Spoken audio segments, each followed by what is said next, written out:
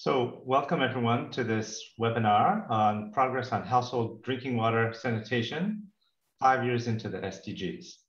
My name is Rick Johnston. I'm from WHO and I co-lead the joint monitoring program with my colleague Tom Slaymaker at UNICEF.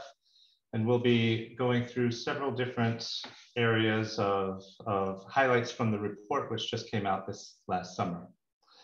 First, we'll speak about drinking water services, then sanitation, then hygiene, and then finally a new area for the JMP, menstrual health.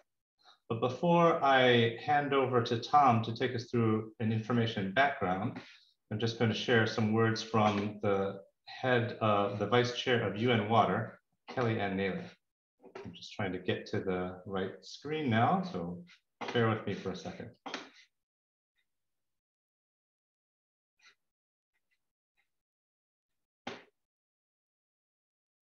Very much for joining this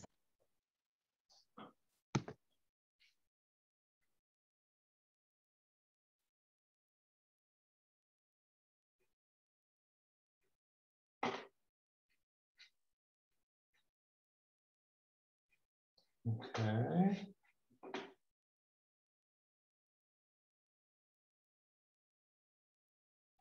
Dear colleagues and friends of water, thank you very much for joining this webinar today to discuss progress towards Sustainable Development Goal 6. This webinar is part of a series of webinars taking place this month, each focusing on global progress towards a specific SDG 6 indicator and target. Before we get into the details, I wanted to share a few important messages about overall progress towards SDG 6 and how the UN is working together to report on our progress. We are now six years into the SDGs. And for the first time, we have water and sanitation data from almost all the countries in the world. This country data were compiled last year by the UN custodian agencies who joined forces under the UN Water Integrated Monitoring Initiative for SDG 6, or as we fondly call it, IMI SDG 6. The unprecedented level of, of reporting is a major accomplishment for us as a global community, but even more so for all the country focal points who are joining us in this webinar. On behalf of UN Water, I would like to thank all of you for your extra hard efforts in monitoring SDG 6 in your country this year, especially in the difficult times we've been all living through. When we look at this data, they sadly confirm the tendency that we first saw in 2018, that we are off track to achieve sustainable water and sanitation for all by 2030. Taking a look at some of the hard facts about SDG 6, we see that billions of people worldwide still live without safe water and sanitation and basic hygiene services. Nearly 10% of the world's population still live in areas with extreme water stress. We know that wastewater is being released untreated into the environment, and one in five of the world's river basins are changing rapidly, which is exacerbated by changes in climate we see that sustainable management of water resources remains out of reach for many countries. The data show that in order to meet our goals and targets, we are going to need to accelerate progress, and in some areas up to four times faster to be able to meet SDG 6 within the next nine years. More than anything, we're going to need politicians and policymakers at all levels to be able to set bolder priorities and quickly but the good news is, is that we already have a lot of sustainable solutions in place. Last year, UN Water launched the SDG 6 Global Acceleration Framework with the full backing of the UN family to mobilize action across government, civil society, and the private sector across the UN to be able to better align our efforts, optimize financing, and enhance capacity and governance. From our work with countries and from their data, we've learned a lot about opportunities for accelerating progress. We've learned about the importance of scaling up capacity building, coordinated action, mobilizing political will. And of course, we've learned how data and information can be used to better guide policy and decision makers in their work. Because despite these heroic monitoring efforts of the last year, we still see large data gaps. Our ambition and hope with this data and with our SDG 6 reports are to further encourage and support national and subnational data collection and ultimately help policy and decision makers to take informed action. This is what IMI SDG 6 will be focusing on as we go forward, and we call on the entire water community from global to local efforts to join us in taking this forward. I wish you a very fruitful and lively webinar today and very warmly welcome you to join the other indicator webinars that we're organizing this month. Thank you for your attention and for all of your continued efforts to drive progress towards our common goal to ensure availability and sustainable management of water and sanitation for all. Thank you very much.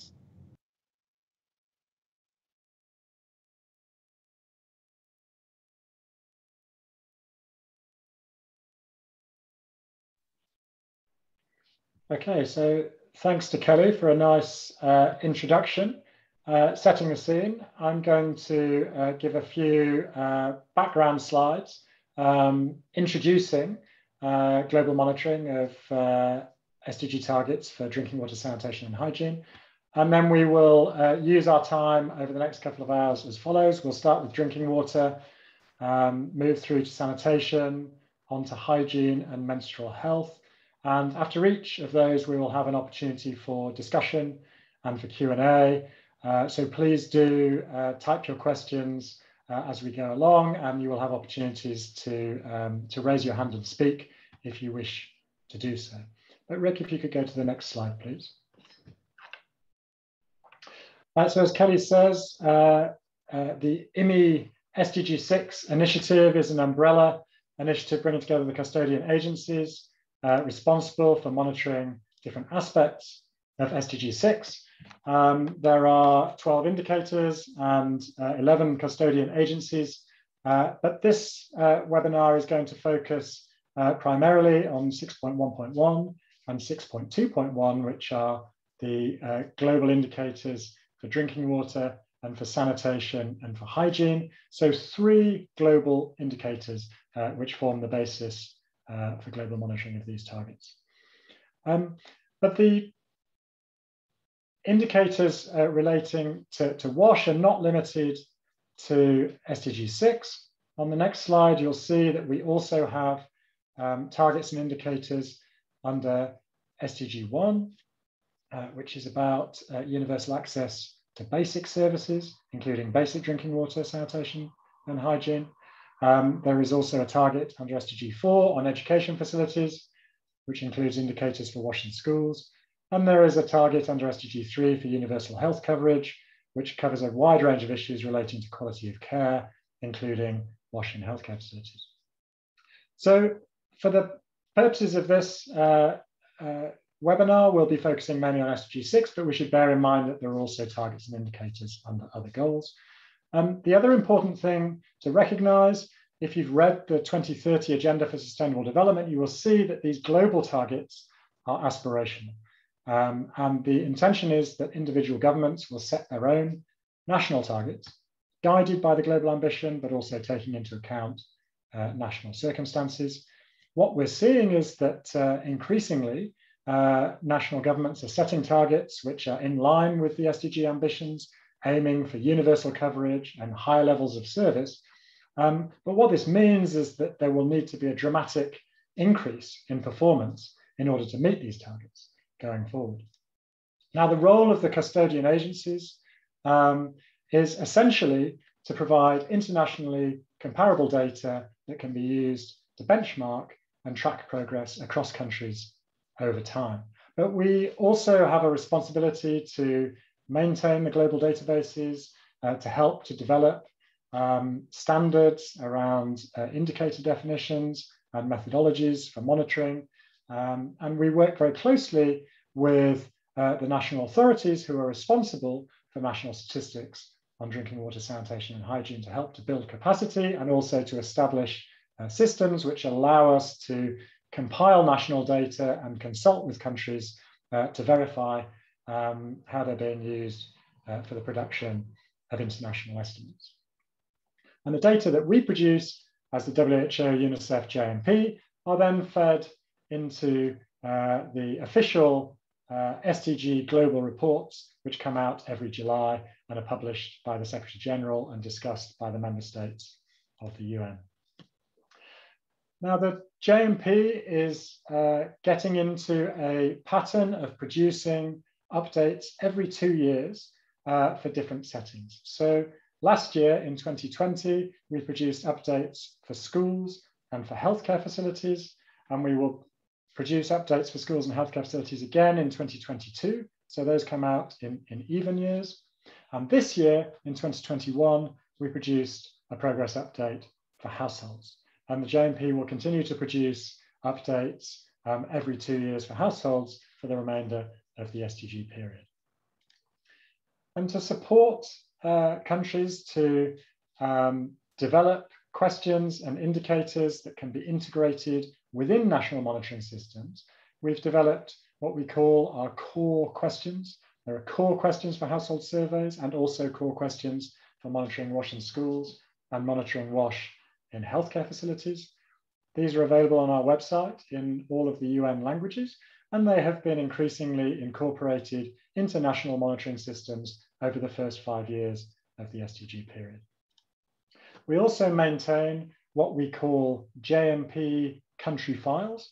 So for each of the 234 countries, areas, and territories in the JMP global database, we maintain an Excel spreadsheet, which includes all, a list of all of the national data sources which we have so far identified that can be used to produce internationally comparable estimates. And the country file uh, contains information on how those data have been used, which data sets have been used to produce the estimates, and which data sets have not been used as a result of the country consultations.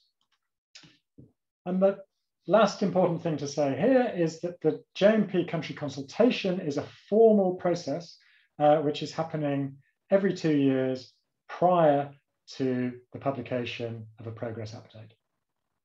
So before publishing a report, uh, we will circulate country files uh, through the WHO and UNICEF regional and country offices uh, to national authorities, along with some guidance on how to interpret the country file, and we will request technical feedback from the national authorities on the estimates that we have produced based on national data.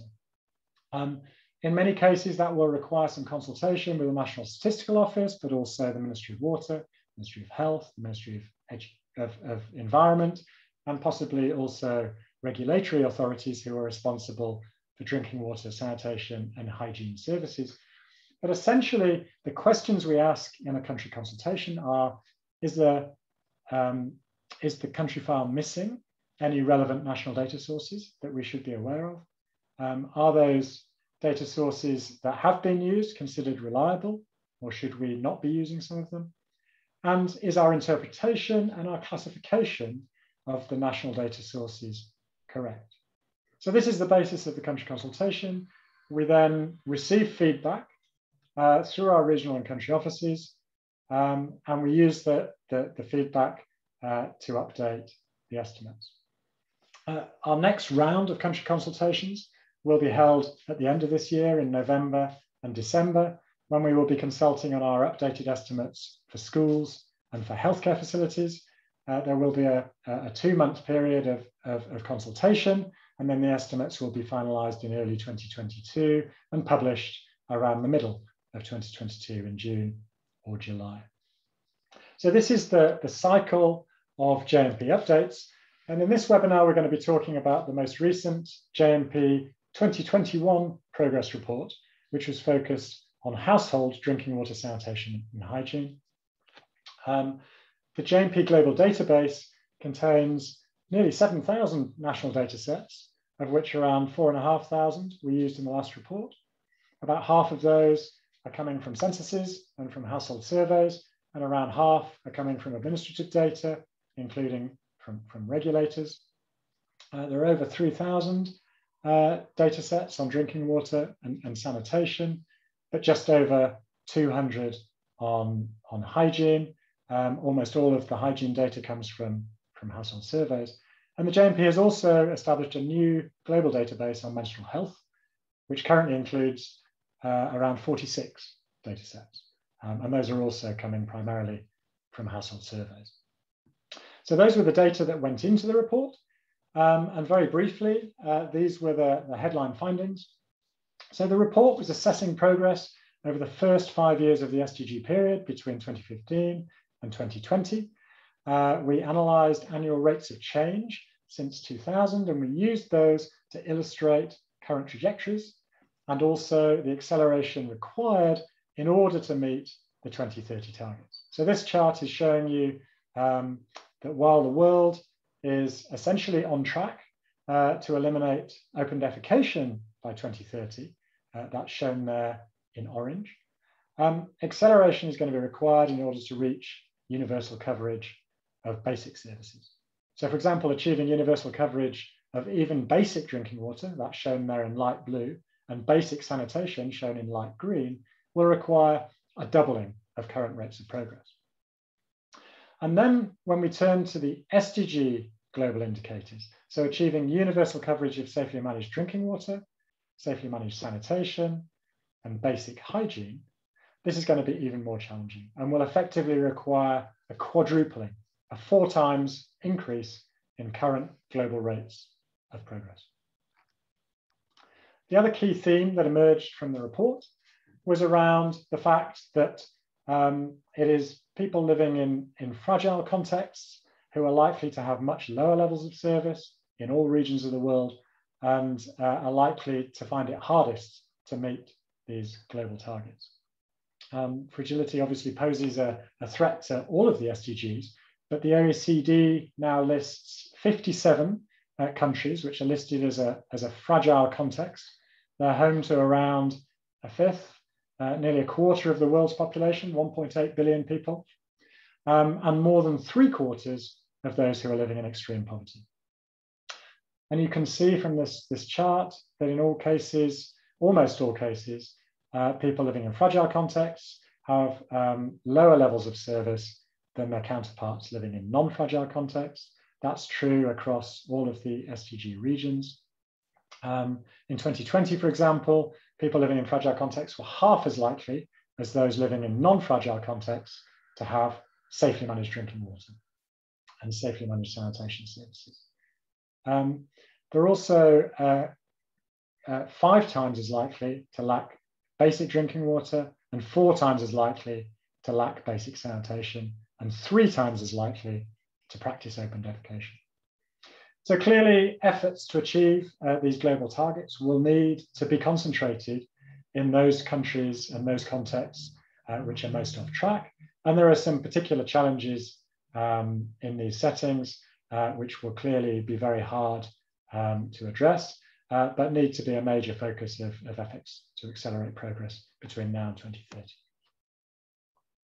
Now I'm going to continue um, and start the discussion on drinking water, uh, and then we'll break uh, for a, um, a, plenary discussion and a, and a Q&A um, after that. So target 6.1 is about drinking water services, and the JMP uses service ladders to benchmark and compare progress across countries. These have been updated for um, the purposes of SDG monitoring, and we now have uh, five service levels. We still track uh, the population using surface water and those who are using unimproved sources, such as drinking water from an unprotected well or an unprotected spring. But for the SDG period, the population using improved sources are now divided into three categories. So if it's an improved source where collection time exceeds 30 minutes, we call that a limited service. If it's an improved source um, where collection takes no more than 30 minutes, that counts as a basic service. But to meet the SDG standard, which is a safely managed service, um, improved sources uh, need to meet three additional criteria. The first is they should be accessible on premises. Secondly, the water should be available when needed. And thirdly, the water should be free from contamination. So fecal contamination in all contexts and in some contexts also priority chemicals. So for global monitoring, that means arsenic and fluoride. And we sometimes combine these top two categories, basic and safely managed, um, and use the category at least basic, uh, which is the indicator that's used for monitoring SDG target 1.4 on universal access to basic services. Now the headline finding um, is, unsurprisingly, the world is not on track to achieve universal access to safely managed drinking water services by 2030. You can see here, since 2015, coverage of safely managed drinking water has increased from 70% to 74%, just four percentage points. And at current rates of progress, um, coverage globally will be around 81% in 2030. So that would leave 1.6 billion people without safely managed drinking water services.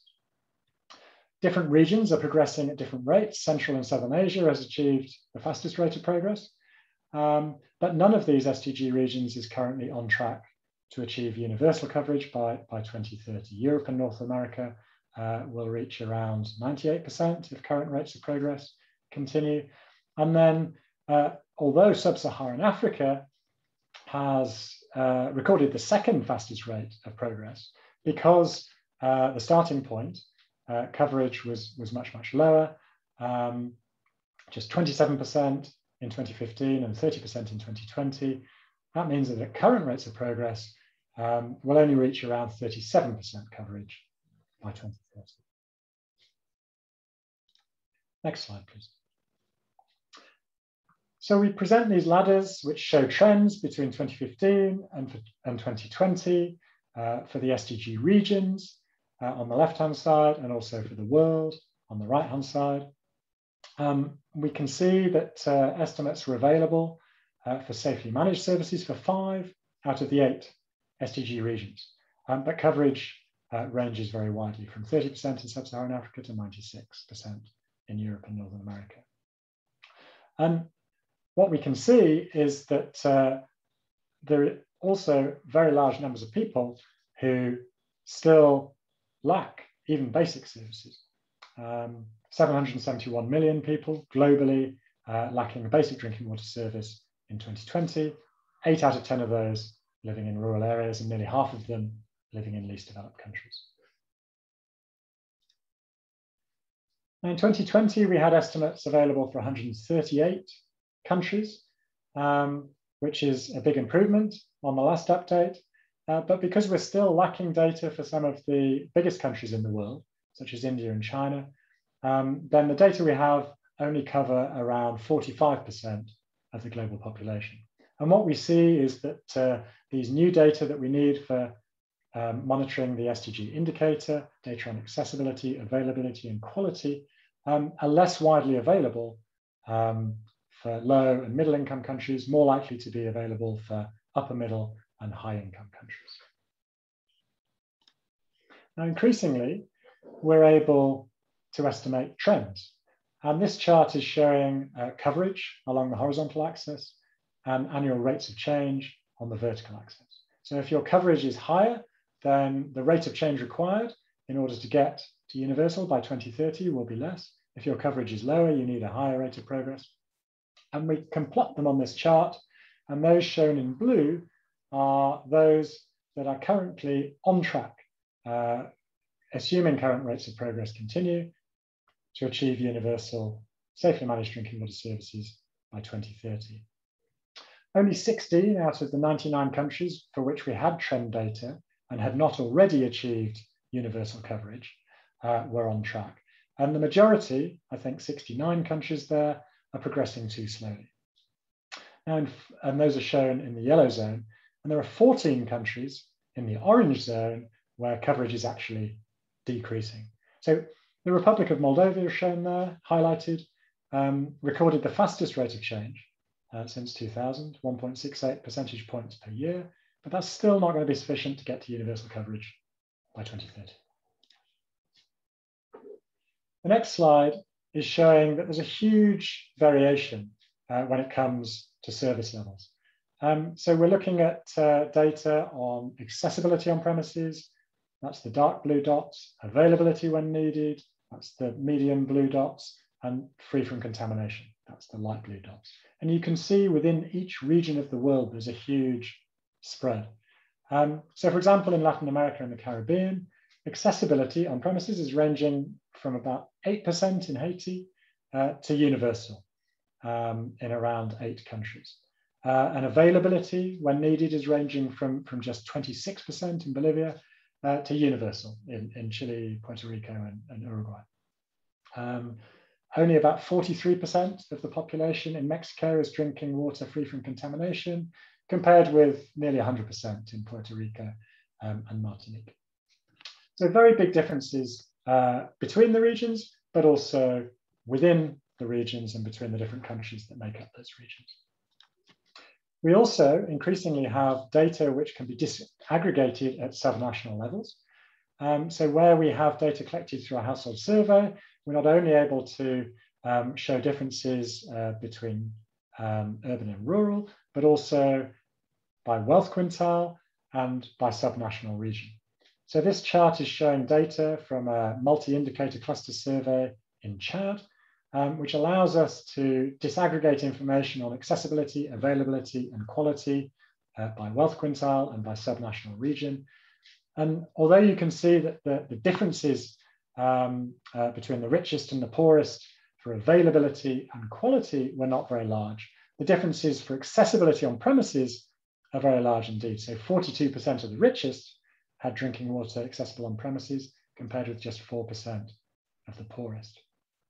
Similarly, for subnational regions, um, accessibility on premises is, is, is, a big challenge in many, in many parts of the country. 69% um, in, in Borkou, uh, compared with just 2% uh, in the Lac region. Uh, but you also see uh, quite big differences for availability and also for quality of drinking water. And this kind of uh, disaggregated information is incredibly important uh, when it comes to informing decision-making around policy and programming. Um, we also see quite big differences in terms of uh, exposure risks. So the data that are coming through now from household surveys, which include water quality testing, not only tell us uh, the proportion of the population that are drinking water that's free from contamination, but also if the drinking water is contaminated, they can show us uh, how heavily contaminated and how high a risk uh, there is of contamination. Um, so again, these are uh, household surveys that have included uh, water quality testing in a number of countries. Um, and you can see that uh, you know, large numbers of people in many of these countries are drinking water that is contaminated. And in six of those countries, so if you look uh, Sierra Leone, Chad, Ethiopia, Kiribati, Laos, and Madagascar, um, it's less than 20% of the population using sources which are free from contamination, shown in blue. And in four of them, um, over 40% using sources with a very high risk of contamination, that's shown in the dark orange. So again, these data are very powerful for understanding uh, not just uh, where the problems are, but also the magnitude of the problem that needs to be addressed and the populations who are most at risk. Uh, the report also uh, tracks progress towards universal basic. Uh, since 2015, um, uh, many countries have, have recorded good progress uh, towards uh, universal basic.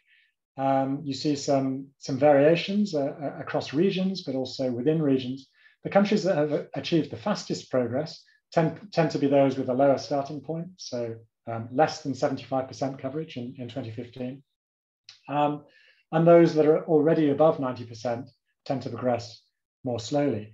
Um, but what you can see is that some countries with very similar starting points have fared very differently. So in 2015, I think in Mozambique, about 51% of the population um, had uh, basic services, compared with 42% in Central African Republic. Uh, but since then, coverage in Mozambique has uh, increased uh, dramatically, about 12 percentage points, whereas in Central African Republic, it's actually decreased by five percentage points. If we look at inequalities in uh, coverage of basic drinking water services, uh, we can also see um, some quite marked differences, especially between the richest and the poorest. So this chart is showing the ratio of coverage amongst the richest to the poorest. And this is a useful indicator of, of inequality. So for example, in rural Somalia, coverage amongst the richest is 3.9 times higher than it is amongst the poorest. And in urban Madagascar, coverage among the richest is 4.9 times higher than it is amongst the poorest. And this just shows that there are very big differences still um, um, between the richest and the poorest within these countries uh, and within urban and within rural populations, uh, which will need to be reduced in order to achieve the target of universal access for all. Last slide on drinking water is showing uh, where the population are who still lack even a basic drinking water service. So between 2000 and 2020, there's been a fairly dramatic reduction in the global population lacking basic drinking water service. It's been reduced by, by a third from over 1.2 billion down to 771 million. The number of people without basic services has decreased in, in all of these regions, with the exception of sub-Saharan Africa. Uh, Eastern and Southeastern Asia, I think, has recorded the biggest reduction, a two-thirds reduction. But in sub-Saharan Africa, the population without basic services has actually increased slightly from 350 million to 387 million. So what this means is that uh, sub-Saharan Africa now accounts for around half of the global population without basic drinking water services in 2020. Um, eight out of 10 of those um, in sub-Saharan Africa um, who lack basic drinking water services actually live in, in rural, um, and nearly half um, are living in, in least developed countries. So this is highlighting the, the work that remains to be done, even to achieve universal access to at least a basic level of service by 2030. So that was my last slide. I'm now going to turn back to Rick uh, to uh, facilitate the Q&A. Thank you, Tom. We now have a period uh, for discussion and questions and answers. I encourage you to, to write some questions you might have into the chat, or you can raise your hand in the attendee list um, and we can call on you and unmute you if you want to make your, your comment um, spoken. Uh, please note that we do have the translation channel, so you're able to, to communicate in uh, French or Spanish if you prefer. We also have two colleagues from WHO and UNICEF regional offices on the line, and I'd like to ask my colleague from uh, PAHO in Peru, Patricia Segurado, to start the discussion with some reflections on the progress that's been made towards national monitoring of the SDG indicators in the Latin American and Caribbean region. And Patricia, you can go ahead and start, and I, am just going to pull up the slides that you shared with me earlier. But please go ahead um, and share your thoughts. Gracias, Rick.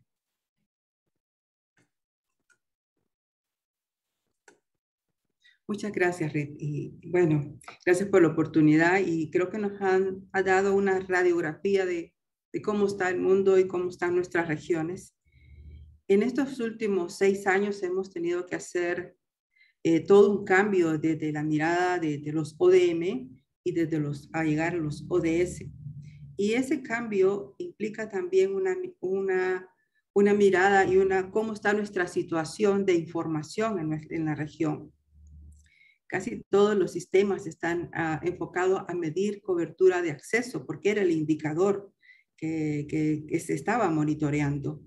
Ahora tenemos que ver otra mirada diferente, eh, pensar en, no solo en acceso, sino que en la calidad, en la continuidad de los servicios, en la equidad y eso ha planteado a, en tener que revisar y tener que trabajar en capacitar, dar a conocer cuáles son las, estas nuevas metas, interiorizar a cada uno de los países. Hemos trabajado en, en buscar cursos a, a virtuales para, este, para llegar esta, esta, a este tópico, pensar en construir eh, protocolos para el tema de establecimientos de salud, protocolos de, que nos permitan recolectar información de los establecimientos de salud también.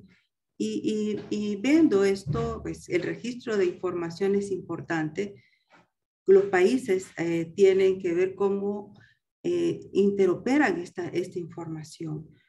No está en, un solo, en, un solo, en una sola área.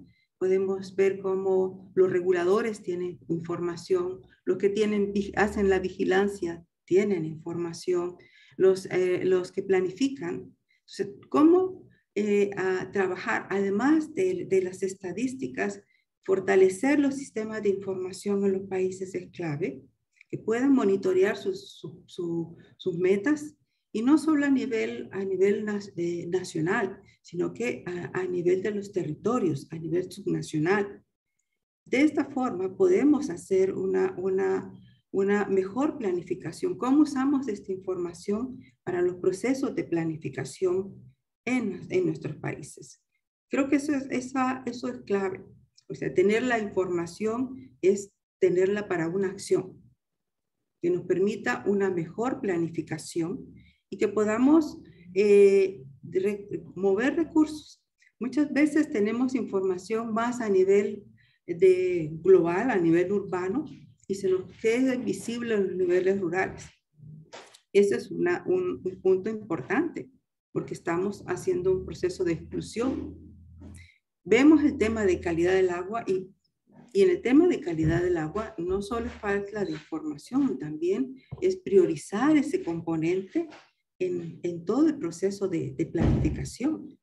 Y en, en el uso de, de, incluso en este, en este tema de calidad, la población tiene que tener, saber que cuando abre sus grifos el agua es de calidad. Y estamos moviendo a usos de agua más embotellada que estar usando agua de grifo. Y hace años se tomaba agua, agua de grifo. Tenemos que pensar en, esos cambios que pueden ser diferentes hacia, hacia, hacia, nuestra población. Y en este sentido quisiera ver algunos desafíos. Ah, tal vez pasas a la siguiente, por favor. ¿O yo la tengo? Rit. Yo tengo la, la, la, la, ponencia o tú puedes pasar la siguiente.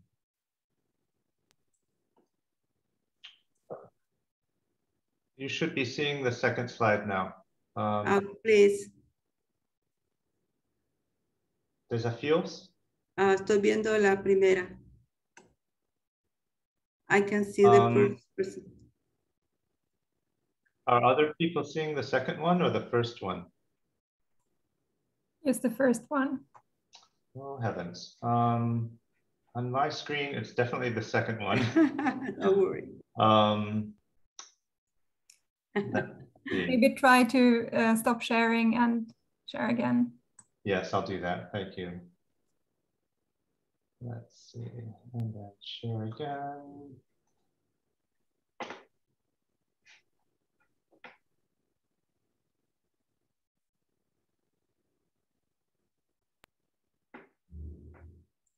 The second one right now. Is the second one now? Okay, good. Okay. Bueno, creo que en parte del, en el tema de, de, información tenemos que avanzar en contar con ver esta brecha de información, qué nos hace falta de información, pero información de los países que construyan para que les tomen las decisiones. Y después tenemos que avanzar en cómo esta información se va y se alinea a los procesos de planificación. ¿Cómo están nuestros planes nacionales y subnacionales ya con metas ODS? Ya con metas que nos permitan hacer ese cambio. Y luego tenemos que considerar la, capacitación en los recursos humanos. Creo que ese es, un punto continuo que tenemos que ir eh, viéndolo a todo nivel, o sea, a nivel nacional y subnacional, para fortalecer estos componentes. Hemos hecho también eh, un análisis y estamos en el proceso de recolección, cómo están nuestros laboratorios, cuál es la situación de los laboratorios. Estamos, vamos a hacer en, en nuestro curso de este mes un inventario de la situación de los laboratorios para saber, bueno, estas son nuestras capacidades. ¿Cómo podemos mejorar estas capacidades que nos permitan un mejor monitoreo de la calidad del agua y podamos eh, eh, realmente a tener una mejor gestión en ese aspecto. Estamos trabajando también en, en, buscar eh, un entrenamiento y hemos estado haciendo entrenamientos para el desarrollo de planes de seguridad del agua y planes de seguridad de saneamiento. Estamos tratando de que sea integral, que lo vean en forma integral el agua y el saneamiento, porque al final eh, tenemos todo un ciclo y en ese ciclo tenemos que buscar las opciones en el territorio, porque eso es importante, en el territorio, que puedan mejorar la calidad del agua y mejorar la protección de los, de los recursos en, en, el territorio. ¿Qué, qué, qué buscamos después de, de, todo esto? Tener información no basta, tenemos que construir políticas públicas alrededor de esta información, tenemos que construir también, asegurar que nadie se nos quede atrás, en especial cuáles son los que están en las zonas rurales, como mencionaba Atoma, en las zonas rurales, y, en estas tenemos nuestros pueblos originarios. Entonces, ¿cómo llegar a ellos? ¿Cuál estrategia tenemos que llegar? Y cómo en, medio de este eh, sector, que todo, hay muchos muchos que trabajan en el sector y, y, hemos visto en los, en los grupos intersectoriales que hemos tratado de ir conformando, como ah, la necesidad de, de, unir esfuerzos a nivel de los países, conformar unas ah, acciones intersectoriales para mover la agenda. Si no, vamos a, eh, si no tenemos una, una sola mirada, va a ser muy difícil llegar a esta meta.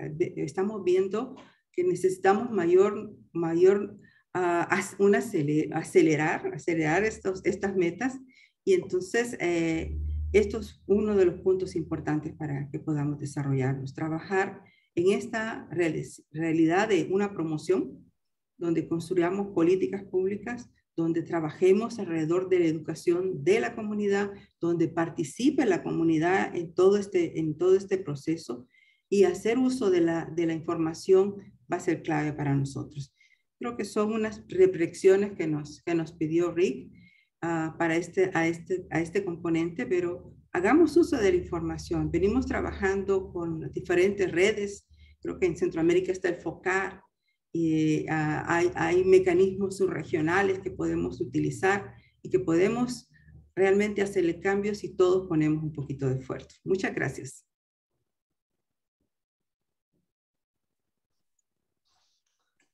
Thank you, Patricia. And that's a great message to, to end on. Um, I think I really like the examples you gave of intersectoral coordination and the need to build capacity development for data collection. But most of all, that, that the data are collected are used uh, to inform local planning and, and, and um, investments. And sometimes it's difficult to collect data that can give the level of detail that's necessary for local planning, as well as being able to produce globally um, you know, useful uh, data for the SDGs. I see that we have a question in the Q&A about what the top three difficulties um, we find are in collecting information from countries and governments. I'll ask uh, Patricia, uh, Tom, any of our other panelists to answer that one in writing because I think we need to move on to sanitation and hygiene. There have also been several questions in the chat about uh, getting to the sanitation and hygiene. So it's nice to see a lot of interest in those topics. Then if we turn then to target 6.2, there are two indicators, one on sanitation and hygiene. Uh, for sanitation, we have the same type of ladder that Tom presented for the uh, drinking water services. And that starts with the, the lowest level of service, people who really have no services at all on the bottom, who practice open defecation, We've monitored that throughout the MDG period, and we continue to do that in the SDGs. And then those who use some kind of pit latrine without sanitary protection, like a slab or platform, are classed as having unimproved services. Then among those who have improved facilities, uh, we break those groups into three different classes or categories, depending on the level of service. So if those improved facilities are shared with other households, we call that a limited service because there are limitations possibly about when um, you know people can safely access at all times and also about some of the public health risks where you do see um, uh, disease rates being higher among people using limited or shared facilities. But then if they're not shared, that counts as a basic service level or uh, if it meets the additional criteria of the SDGs about excreta management, then it would count as safely managed. And just for drink, just as for drinking water, sometimes we group safely managed and basic services together uh, as at least basic services, which is used to track um, uh, target 1.4 under the poverty goal. But to reach safely managed then, it's not enough to have uh, an improved facility that's not shared, but we need to know that the excreta deposited in that facility are either safely treated and disposed of on site or are removed and treated off site. So that's the new level of ambition in the SDGs. So if we look at the new report, we show that uh, many countries still don't have sufficient national data to report on the SDG global indicator. You see some countries are still in gray here. So in 2020, we did have national estimates for 120 countries, areas, and territories. And those represent over 80% of the global population because we do have data from India and China. One interesting thing to find uh, is that in 2020, more people now use on-site sanitation facilities, such as septic tanks and latrines, than have sewer connections. But while most countries do have data on the treatment of wastewater from households connected to sewers, very few countries have the data on treatment and disposal of waste from septic tanks and pit latrines. So that's uh, one of the big data gaps we have going forward. On the right here, you can see that safely managed sanitation services did increase from 47% in 2015 to 54% in 2020.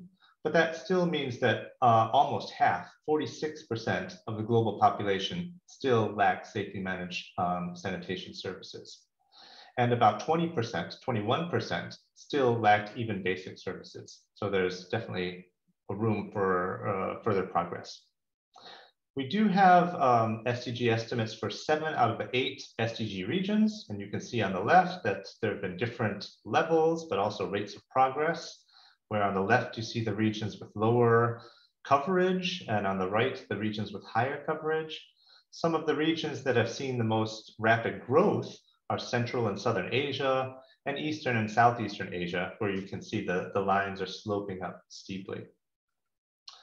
We can see this again in this graph that looks at the progress between 2015 and 2020, but extrapolates it all the way to 2030. And here we can see that if current rates of progress continued, the world would only reach about 67% safely managed sanitation by 2030 at the end of the SDGs. So that would be one, one in three people still not having safely managed services. And if we look at the other regions, in fact, you can see that none of the SDG regions are on track to achieve universal access to safely managed sanitation by 2030 even the, the high income countries, Australia and New Zealand, Europe and North America, um, the rates of progress have been quite slow. And some of this is due to the lack of data about um, non-sewered sanitation. Even in high income countries, there will always be some proportion of the population, 10, 20% perhaps, who use septic tanks or, or other on-site systems. And without data on how well those wastes are managed, we can't say anything about um, if they're safely managed or not. If we turn from regions to look at individual countries, and again, these graphs show the, the coverage level in 2020 on the horizontal line, and then the historical rate of progress on the vertical axis there, you can see that um, a number of countries have achieved rapid progress, more than two percentage points a year. Um, Lesotho, Slovenia, uh, and China have some of the fastest rates of progress. But because the, the baseline level was, was lower, they have further to go and aren't on track to reach universal coverage by 2030. In fact, only eight of the 109 countries that we have data for are on track for universal coverage by 2030. Progress is too slow in 81 countries, and in 20 countries, coverage is actually declining. Um, as I mentioned, one of the interesting findings of this report is that in 2020, for the first time, more people used improved on-site sanitation facilities than sewer sanitation. Um, and that's because the growth in on-site sanitation has been faster than the growth in sewer connections. And that's true in urban and in rural areas. Of course, the distribution varies widely by region and by urban and rural um, location. At the global level, it's actually quite even. About 43% of the population uses on-site sanitation that's improved, and another 43% uses sewer um, uh, sanitation. But of course, in urban areas, you see the dark green bars are bigger, there's more sewer coverage, but still important fractions of the population with on-site, even in urban. Whereas in rural, uh, the majority of the populations uh, are using on-site sanitation facilities. And then if we look at the different regions, we see that the, um, the least developed countries, the um, uh, fragile contexts, sub-Saharan Africa, Oceania, Central and Southern Asia, the majority of the population are using on-site sanitation, both in urban and rural settings. Uh, but even in those high income settings in Europe, North America, Australia, and New Zealand, there are significant populations using um, on-site sanitation. We are seeing new sources of data coming though, um, including questions in household surveys about how and when on-site sanitation storage uh, tanks are emptied. And what we see on the left here, first of all, is that a lot of those are never emptied. This graph shows both um, septic tanks in dark green circles and improved pit latrines uh, in, in the green squares. And we're showing urban on the x-axis and rural on the y-axis. So you can see that there's a lot of on-site sanitation, both septic tank and latrines, that's never emptied, especially in rural areas. Um, Niger, Gambia, and Mongolia, for instance, have very high populations using septic tanks in rural areas that are reportedly never emptied. Um, there are a few countries, China, Belarus, where emptying is much more common though. And if we look on the right, we can see that especially in urban areas, um, it's more likely that those wastes that are emptied will be removed offsite and taken to some kind of treatment facility. Um, so again, Mongolia, China, Belarus have very high rates of emptying and removal of waste offsite in urban areas. Most of them don't have such high rates uh, in rural areas. Belarus is something of, a, of an exception there. And if uh, wastes are removed from the household and taken to centralized treatment, either through sewer lines or through pit latrines and septic tanks that are, that are emptied and taken to treatment, we see that the centralized wastewater treatment, um, the level of treatment that's available varies widely by region and within region. Now, to be considered safely managed, uh, wastewater needs to go through at least secondary treatment. So that's a biochemical treatment, biological treatment, Tertiary treatment, of course, or higher levels would also count. But if it's only primary treatment, physical separating solids of solids, that doesn't count for the safety managed service indicator. So you can see that in each of the SDG regions, there are some countries where less than half of wastewater receives secondary level treatment or higher, even in Eastern and Southeastern Asia, which has the highest regional average. And then, of course, in Latin America and Caribbean, Central and Southern Asia, Sub-Saharan Africa, um, there's quite a lot of wastewater that doesn't receive that level of treatment. If we look uh, at the basic sanitation indicator, that's using an improved sanitation facility that's not shared. Uh, we do see uh, a big decrease in the number of people over time who, who do use, who lack basic sanitation services. And in all of the SDG regions, except for sub-Saharan Africa and Oceania, that number has decreased.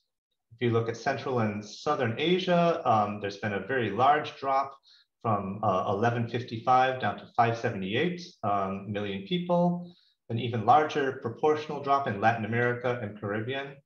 And one of the challenges in sub-Saharan Africa is that the population growth is is much faster there and services are being added, but they're just not able to keep up with that um, driving, that driver of population growth and urbanization. Then there are those who don't even have um, unimproved or, or limited services. And in five countries, still more than 5% of the population practiced open defecation in 2020.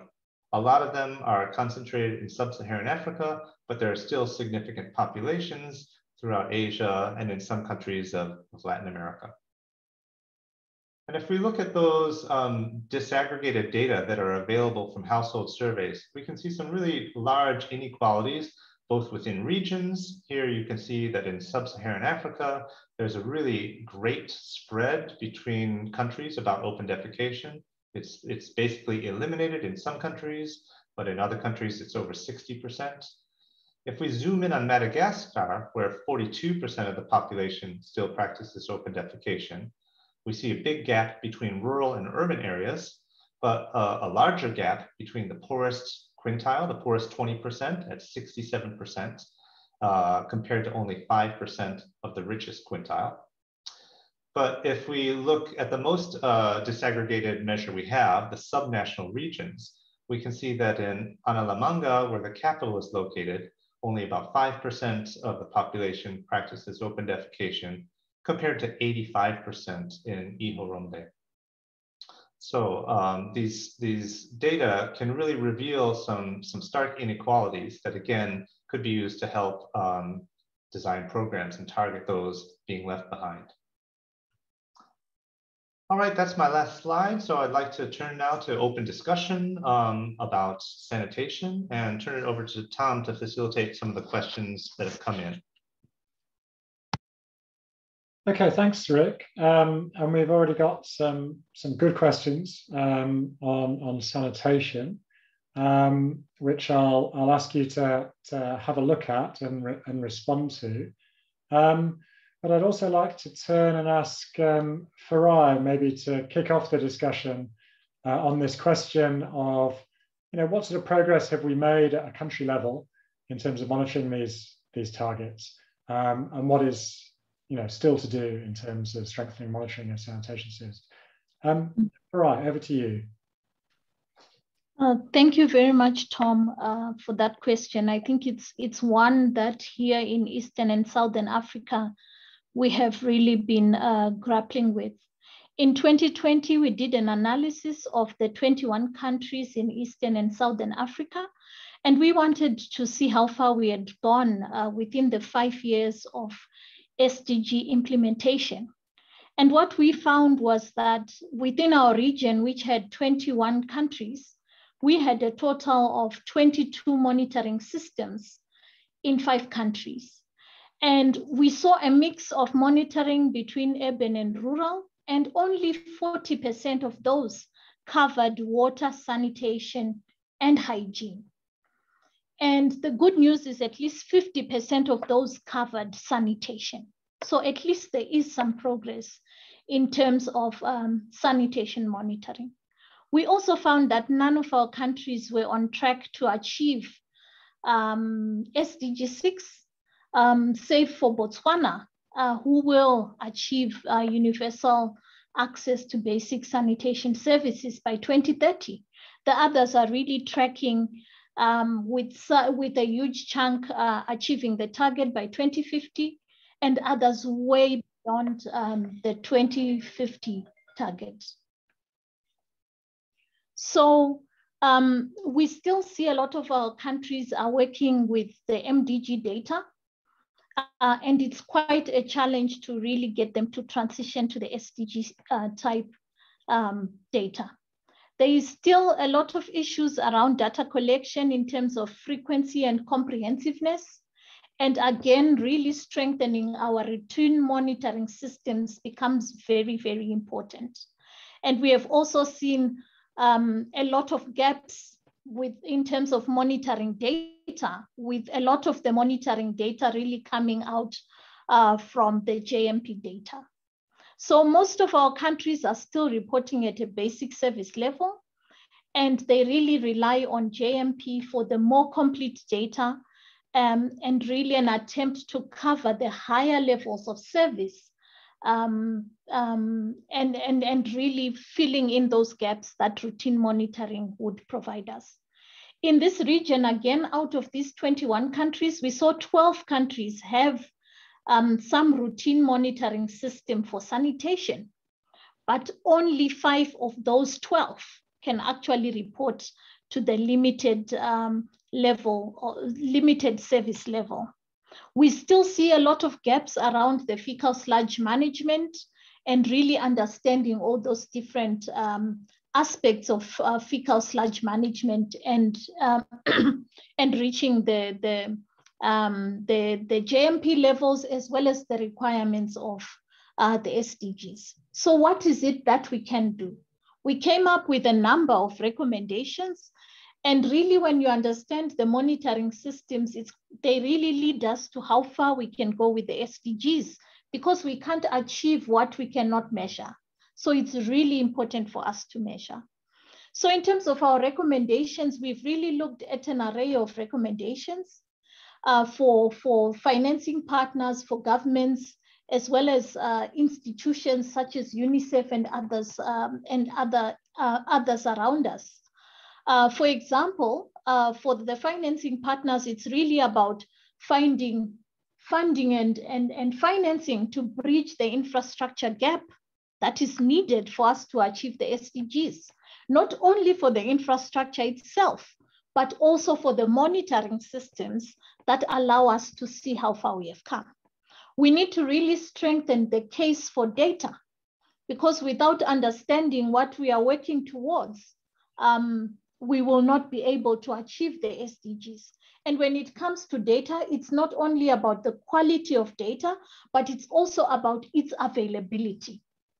We also need to see a greater integration between health education and WASH, because we have really seen our health monitoring information systems and education monitoring information systems are sometimes even doing better in terms of capturing the sanitation data.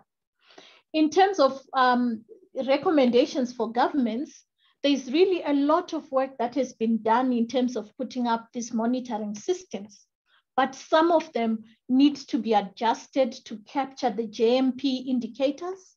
We also need to explore new and innovative ways of collecting data, particularly for hygiene facilities, uh, because these are very much at a household level.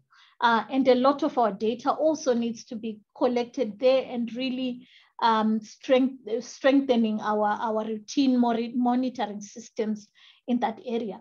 And of course, how can we expand already existing health MIS uh, systems so that they incorporate a lot of the JMP WASH uh, indicators and, and, really collect the data um, that, that we need.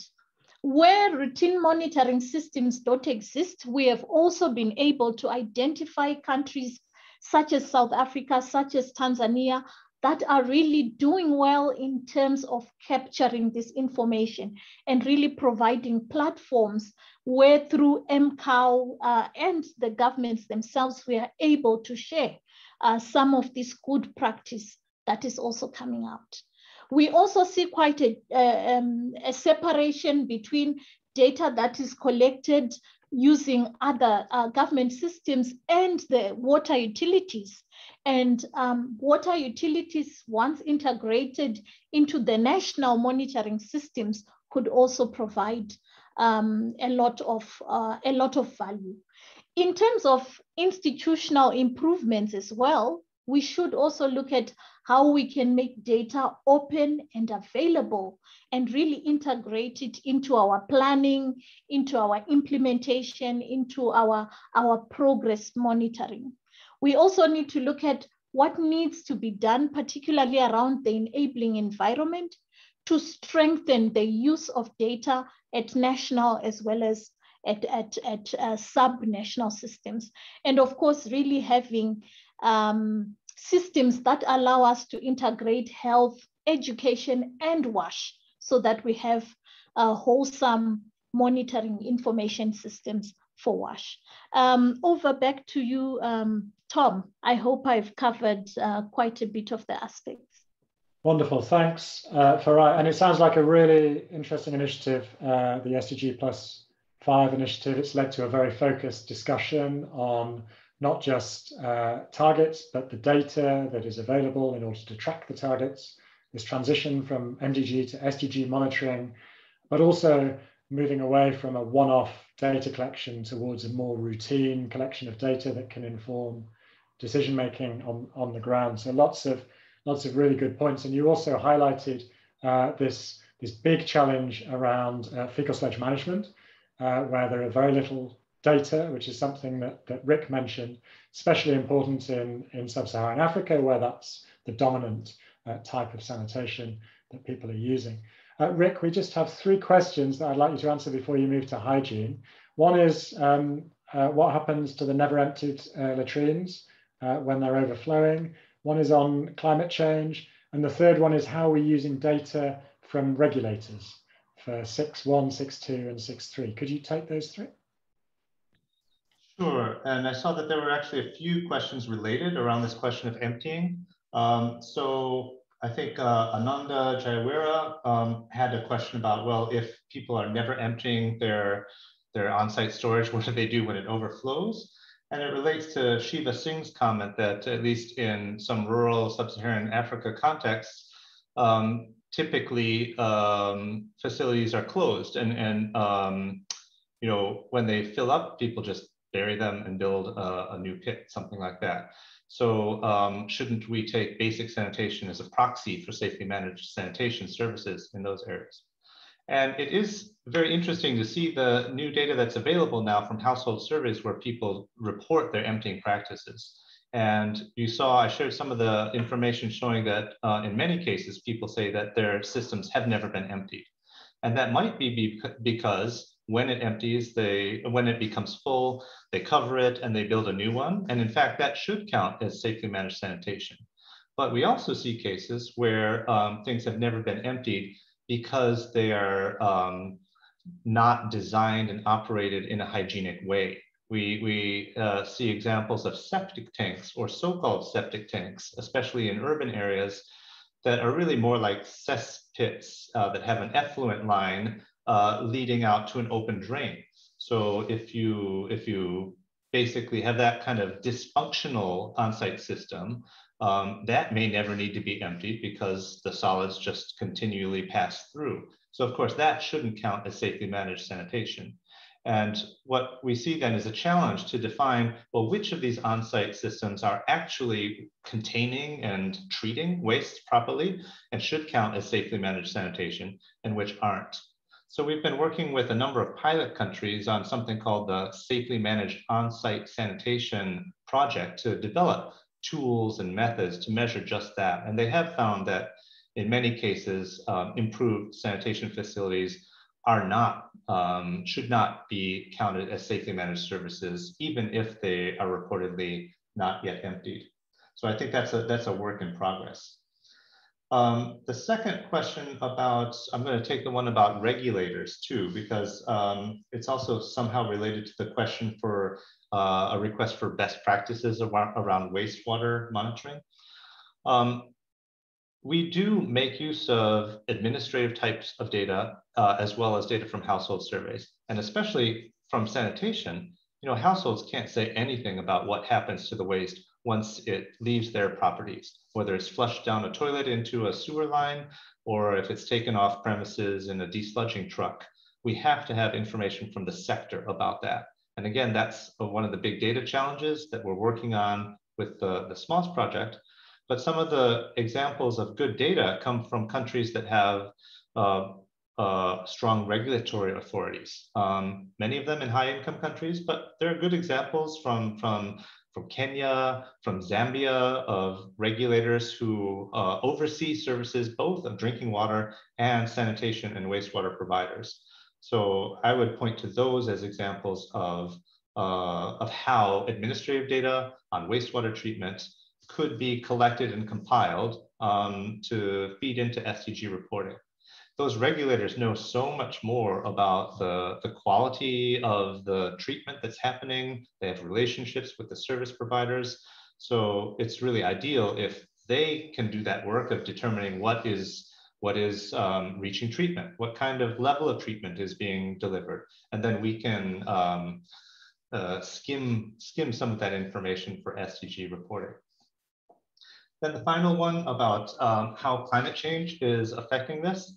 I, I think we, we hear anecdotally that climate change is having real impacts on water and sanitation services that people are facing. There's um, certainly more flooding in some countries. There's also uh, more extreme weather events, which can lead to sanitation or water facilities being damaged, including household systems, but also including large municipal systems. So I think you do see a trend towards um, climate resilient water safety planning and sanitation safety planning. But um, I think that's more at the level of how to how to mitigate uh, climate change than actually tracking or quantifying how much climate change has contributed to differences in sanitation uh, coverage yet. So with that, um, if there are further comments that people have, keep writing them into the chat, but I'm gonna continue on then to talk about hygiene. If I can find the slide, yes. So uh, the second part of SDG indicate a target 6.2 is about hygiene. Uh, and we were all very happy to have this included in the SDGs because it was completely absent in the MDG period. And um, what was chosen as the global indicator for, for hygiene then is called basic hygiene services. And that's having a hand washing facility with soap and water available at home. Um, most of the data for this come from household surveys where for over 10 years now, um, the major survey programs have been asking their survey teams not to ask people in the household if they wash their hands. We know that doesn't give good data, but to ask can I see the place where you wash hands after defecation? And then to record, well, is there soap there? Is there water there? So that's a more robust type of indicator. And then sometimes there is a hand washing facility, but it's lacking either soap or water in the home. We call that a limited hygiene service. Then of course, at the bottom of the ladder, there are those who have no hand washing facility at all at home. So in the 2021 report, we had 79 countries with estimates for basic hygiene services, just a little bit over 50% of the global population. But the map makes it clear that uh, these data are, are really lacking in the high income countries because they don't have as many household surveys. And when they do, they typically don't ask about water, sanitation, or hygiene because they presume universal coverage. Um, there are many countries in sub-Saharan Africa and Asia, though, um, and, and some also in Latin America and the Caribbean that do collect this kind of information. You can see uh, from the colors on the map that it's in sub-Saharan Africa where we tend to see the, the lower rates uh, of coverage. Now, out of the eight SDG regions, we have estimates only for four of the regions um, shown on the left there. And on the right, you can see at the global level, we've seen progress moving from 67% of households or a population having basic hygiene in 2015 to 71% in 2020. But the, there's a lot of uh, disparity globally. You can see in sub-Saharan Africa and Oceania, the coverage levels are quite low. And in fact, in both of those regions, about a third of the population has no hand washing facility all, at all at home. On the other hand, if you look at Northern Africa and Western Asia, the progress has been quite rapid, up to 91% in 2020. And in fact, this is um, uh, one of the only regions that's on track to reach the SDG target by 2030. We also see uh, that coverage tends to be higher in urban than in rural areas, but many regions still lack data, and sometimes they'll have data only for rural or only for urban areas. Um, you see on the bottom in this slide, the urban settings have more gray bars, uh, including at the global level. And that's because um, there are some surveys that collect data only in rural areas. So we have enough data coverage at the global level um, in Northern Africa and Western Asia, in Latin America and the Caribbean, to say something about rural areas, but not about urban areas. And then if we extrapolate forward to 2030, we see at the global level, the world would only reach 78% uh, basic hygiene services by 2030. And I mentioned Northern Africa and Western Asia would actually be on track to reach universal coverage before 2030. But it's really Oceania and Sub-Saharan Africa where both the coverage levels are the lowest and the rates of progress lowest. So the multiplier would have to be really really large in order to, um, to meet the target by 2030. The surveys um, that we draw on go into more detail too, sometimes about the type of hand washing facilities that are used. And one thing that's become clear is that in sub-Saharan Africa, uh, many people use mobile devices for hand washing. That's shown in the light purple bars on the left of this chart. And in many countries, more people are using mobile devices than fixed devices that you see on the right side. Uh, however, some of the older surveys didn't ask uh, separately about mobile devices or fixed devices. And we, we have reason to believe that in some of those older surveys, um, uh, the enumerators were looking for fixed devices. So if there were mobile devices, they might not have been captured. So we suspect that, for instance, in Liberia, in Rwanda, where you can see there's no bar on the left, if we did have a, a, new survey that would collect information on mobile devices, we might see that more of the population actually does have a hand washing facility in the home than, than we had from those earlier surveys. Another thing to look at is among those who do have hand washing facilities in the home, how many of them have water and soap or water only or soap only or lack both? Here, the purple bars are, are those with both water and soap among people with hand washing facilities. And the dark orange are those, those who lack both water and soap. So in some countries, you know, many people have, have neither water nor soap. But you can see that the light yellow bars um, tend to be bigger than the light orange bars. And the light yellow are those who have water but don't have soap. And the, the light orange are those who, soap, who have soap but don't have water. And it's, it's um, every country is different, but it's relatively uncommon for households to have a hand washing facility and soap, but to lack water. So in most cases, we find that um, either both are missing or soap is missing, and that, that could be the limiting factor preventing people from having basic hygiene services. This next chart compares um, access to drinking water on premises on the horizontal axis compared to basic hygiene services on the right.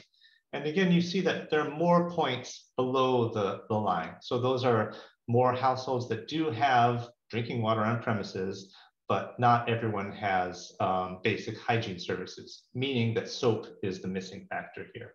So Bolivia in particular stands out with over 80% of the population with water on premises, but only about 20, 25% having basic hygiene. On the other hand, in Mongolia, um, basic hygiene is over 80%, but only about 30% of people have uh, drinking water supplies on premises. So in Mongolia, people are collecting water from outside the home, they're bringing it in the home, but it's, it's usually available for hand washing along with soap. If we look at the differences between the wealthiest uh, and the poorest, we see very large inequalities here for, for basic hygiene. If you look at, at the top in rural areas in Eswatini, the richest 20% are 11 times more likely to have basic hygiene than the poorest uh, 20%. In urban areas, it's even higher. It's 32 times higher in Liberia for the urban rich compared to the urban poor the urban richest 20%, I should say. And where we see these really huge ratios like that, tends to be because the, the poorest quintile, the poorest 20%, have very, very low coverage, um, 1%, 2%, less than that even. So, um, so in many of these countries, then the inequalities about having access to the basic materials for, for hand washing are really extreme. Uh, we can also look at those households that have no hand washing facility at all, not even a limited service. And we find that in 28 countries, at least one in four people had no hand washing facility at home in 2020. And in, in the case of Rwanda, it was up to 86%. Though possibly if we got a better survey in that would count mobile hand washing devices in Rwanda, uh, we might see a different picture there but especially in the context of COVID and concern about uh, managing infectious disease outbreaks, there's, there's just no way to, um, to maintain a hygienic environment for these populations that don't have access even to hand washing facilities at home. So that's my last slide. I'd like to, again, open up a discussion now before we move on to the last section on menstrual health to see what kind of progress has been made, especially in the area of hygiene and what needs to be done to strengthen national monitoring of the SDG indicators around hygiene. Um, again, the floor is open. If you'd like to make a comment, please raise your hand and we'll unmute you, or you're welcome to, to type something into the chat box.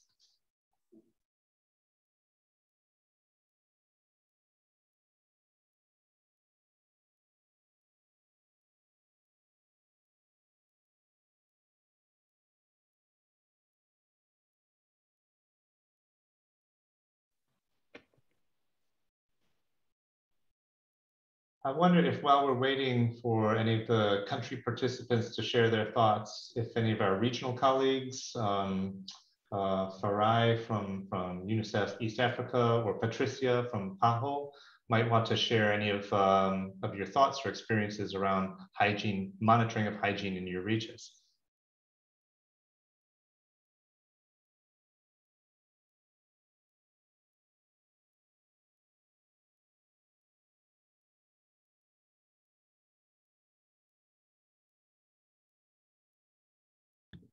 I see that Francesco from the JMP team here at WHO headquarters um, has something to, to, to say. Francesco, please go ahead.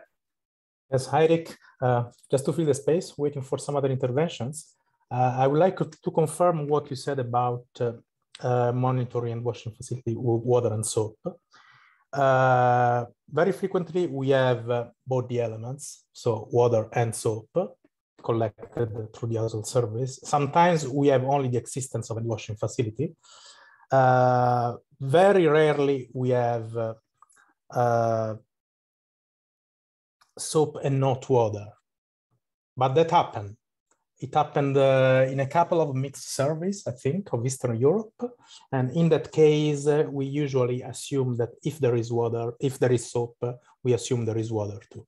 So that question was not included in those household surveys. Uh, it could happen uh, instead that they, they ask if there is water, but they don't ask if there is soap. Over. Thanks, Francesco, for that. I see in the Q&A we have a question about whether some of the low results might be because people are, are not willing to show their toilets to the pollsters.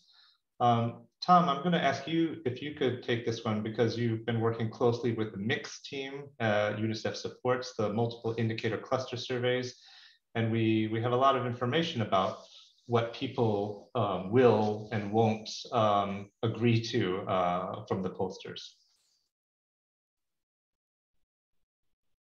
Yeah, I can speak to this briefly, Rick. And uh, I think it's interesting because um, the, the vast majority of uh, household surveys do not involve a direct observation of facilities. So um, although we have uh, now a standard module on observation of hand washing facilities, most household surveys do not involve an inspection of toilets. Um, now, there are some challenges around asking a household um, whether you can see their toilet and inspect it and make an assessment as to whether or not it has been properly designed or whether it is broken or overflowing. Um, we, we have been um, piloting some, some tools which would enable a very simple inspection to be made, which would determine uh, whether or not the, the toilet is effectively containing waste or whether it is creating a, a hazard because it's overflowing or it's uh, um, discharging directly into the, uh, the, the, surface environment of, of the household. Um, but one of the, the, important questions is who would do that inspection? Does it need to be somebody uh, who has specialist technical training um, in sanitation facilities, or is it something that could be done as part of a routine uh, survey or could be done by health extension workers who are you know, doing many other assessments in the community? Um, so that's an unresolved issue at the moment, but um, at the moment, uh, the lower results are not a result of households refusing to show toilets because most households don't, aren't actually asked uh, to show their toilets. So the information we're getting is what the household is reporting that they are using, uh, which, which may or may not be uh, completely accurate in all cases. So the important thing is to invest in training the enumerators to understand all of the different types of facilities that are most commonly used in that country or in the, in the rural areas or the urban areas to make sure that they are correctly interpreting and classifying uh, the facilities based on the, the answers that the households are giving them. Um, I see Patricia uh, has her hand up and would like to come in maybe on this question or another one. So over to you, Patricia. Oh, un comentario sobre higiene. Yo creo que eh, necesitamos más información sobre este tópico eh, y cómo, cómo colectar eh, información. Y veo, en los, por ejemplo, en los establecimientos de salud, eh, antes de la pandemia, encontramos que sí, habían instalaciones, un 75%, por ejemplo, tenían ah, servicios habilitados de, de, para lavarse las manos con agua, pero un 40% no tenía jabón o sea, en, en, una instalación. Me imagino que en el tema de los hogares eh, surte, como tú dices, Tom, la, la, limitación del acceso a las instalaciones.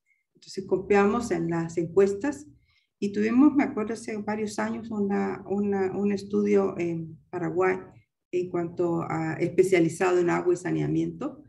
Y, y ahí se, eh, se, identificó uno, capacitar a los encuestadores en, en, el tema de agua y saneamiento fue clave para identificar cómo estaban las, las instalaciones, cuál era un pozo que estaba en buenas condiciones y cuál no, es un pozo no mejorado. Y creo que eso puede ser importante igual para, para el tema de, de, de, saneamiento, ¿no? ¿Cómo están las instalaciones de saneamiento? Pero como te dices, no siempre el acceso a, de las familias y a, a, los encuestadores, y sobre todo cuando hay una situación de violencia, es fácil.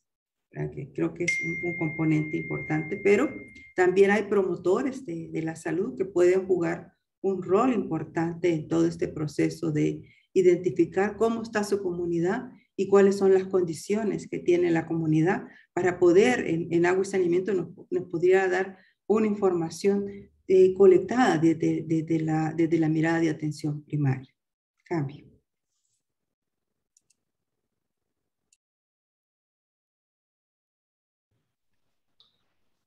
Thank you, Patricia. Okay, I see we've got a couple more questions and comments. There's a, a, comment from Nigeria about the WASH norm survey that does check progress on access to basic hygiene services. Um, that is a very um, thorough uh, and well-designed survey. So we're, we're very happy to see that kind of survey taking place. I think the hygiene questions were, were initially started by the global programs such as MICS or the demographic and health surveys, but increasingly we're seeing them being adapted uh, and adopted into other nationally led monitoring programs like uh, in Nigeria. There's also a, a, question from Mauritius where the surveys don't currently collect uh, information about the availability of hand washing facilities and materials, but there are some questions in household budget surveys about um, expenditures on those. Um, I would say that's that's interesting, and we might be interested in those data in the context of how to measure uh, the affordability of water, sanitation, hygiene services, um, which which is a kind of separate work stream that we have. But as a proxy for basic hand washing services, I think it would be a little bit too far away. Though, especially in high income countries, we still are looking for a proxy that might um, serve to fill some data gaps. But um, you know, it's also possible to advocate that the household budget survey or some other survey uh, include these basic questions on hand hygiene to fill uh, gaps for the SDGs.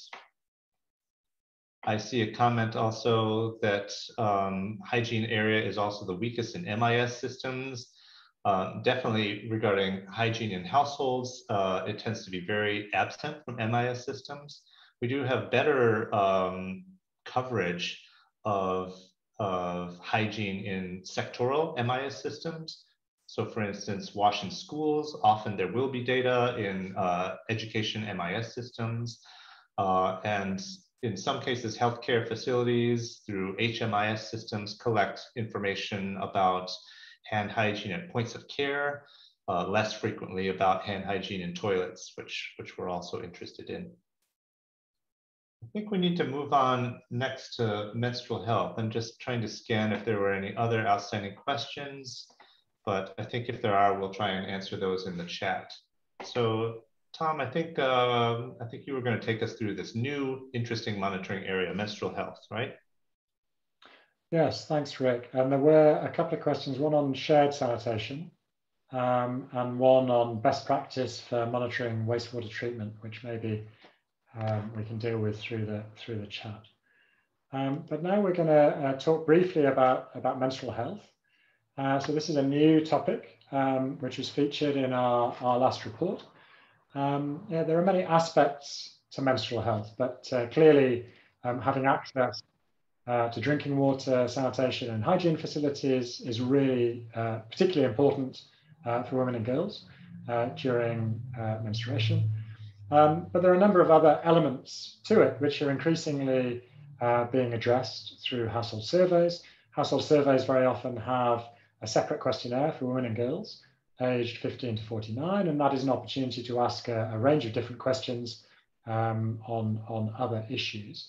And um, what we've done in our most recent report is to analyze uh, the national data that are now available through these household surveys. And we've grouped them into four areas. So the first is about uh, awareness of menstruation before first period. The second is about the use of, of materials to capture and contain menstrual blood. The third is about access to a private place to wash and change while at home.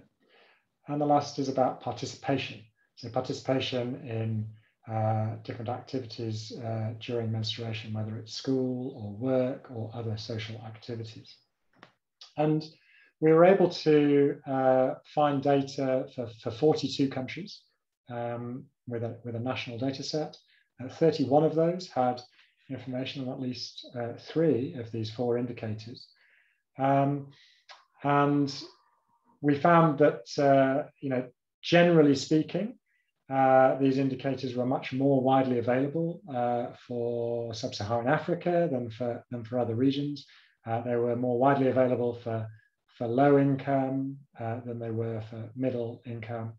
And there were, there were no countries, no high income countries um, with data on any of these emerging indicators. Um, the indicators themselves are still being developed and refined, uh, and so they may, they may be adjusted in future, but what we've done is we've analyzed the data that are currently available. Uh, so the next slide um, shows data on awareness of menstruation, and we only had data for two countries, Bangladesh and Egypt were the only countries with national data on this indicator. And here you can see quite big differences at the national level. So in Egypt, 66% uh, of women and girls um, aware of menstruation um, before their first period, compared with just 32% in Bangladesh. Um, some quite big differences between urban and rural in Egypt, but almost no difference between rural and urban in Bangladesh. And then it's also possible to disaggregate by, by age um, and also um, age uh, of first period, by wealth and, and by disability in the case of Egypt. And you can see you know, important differences by age, um, but really big differences by, by wealth and by disability. So for example, in Egypt, 73% um, of the richest compared with just 56% amongst the poorest. 66% um, uh, amongst those with no disability, compared to just 45% amongst women and girls with a disability. So you can see quite important inequalities uh, among the population of women and girls um, who uh, reported uh, menstruating in the last 12 months. Turning to uh, use of materials in a private place to wash and change. Um, both of these indicators uh, were reportedly quite high uh, in those countries with data available. Uh, so, for example, use of, of materials um, range from about 81% up to nearly 100%. Um, similarly, uh, the proportion of women and girls with a private place to wash and change was uh, generally quite high. Uh, you can see in Niger, Tunisia, and Burkina Faso, uh, 52, 56, and 74%, respectively. Um, but the rest range from about 80%, Cote d'Ivoire and Ethiopia, uh, through to nearly 100% in, in some other countries.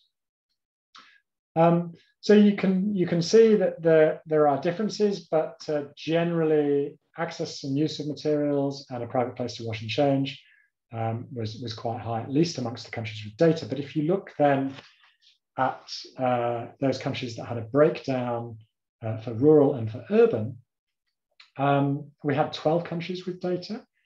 And you can see uh, that at least one in 10 women in rural areas lacked a, a private place uh, to wash and change. Um, and so clearly uh, there are you know, bigger challenges faced by women and girls in, in, in rural areas. Um, in the case of Niger, over half of those uh, living in rural areas lacking a private place to wash and change. Sorry, Rick, can you move the, the slide? Thanks.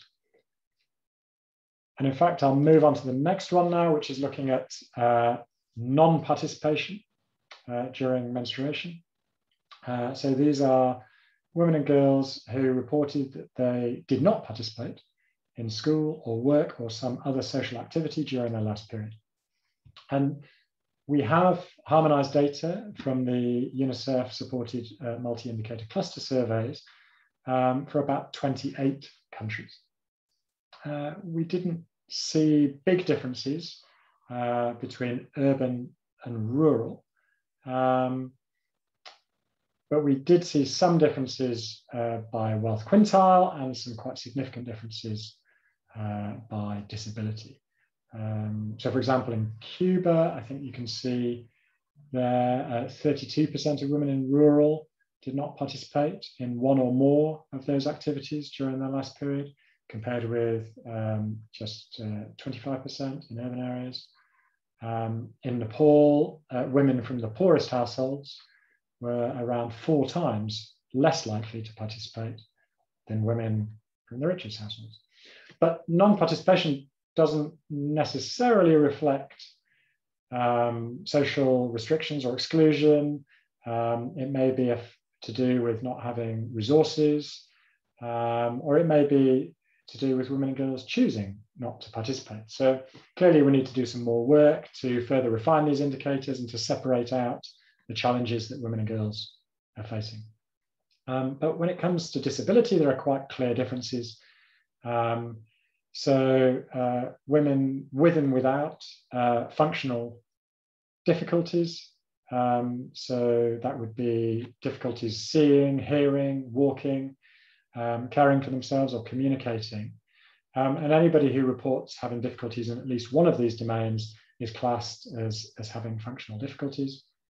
And you can see uh, quite big differences between those with and without functional difficulties. So for example, in, in North Macedonia, which is highlighted there, um, women with a, a disability were, were, five times less likely to participate compared with women without a disability.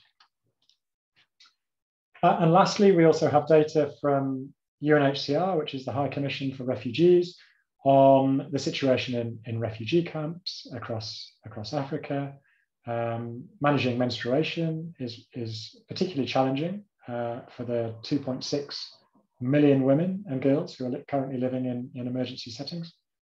Um, and uh, UNHCR has set standards uh, which aims to ensure that at least 90% of women of reproductive age should be uh, satisfied with the materials and facilities available to them in refugee camps.